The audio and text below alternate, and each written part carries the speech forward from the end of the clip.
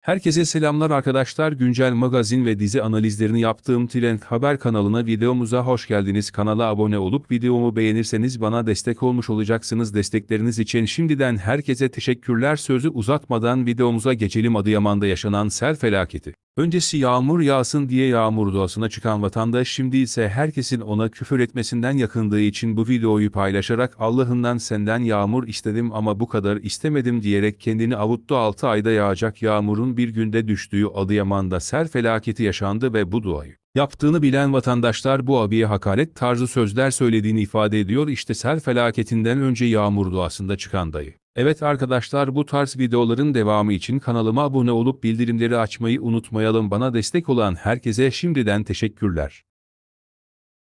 etmedim ya Rabbil Alemin. Dedim biraz yağmur yağdır. Ey Allah'ım ya Rabbim sana kurban olayım. Biraz musiki kıstır ya Rabbil Alemin. Bütün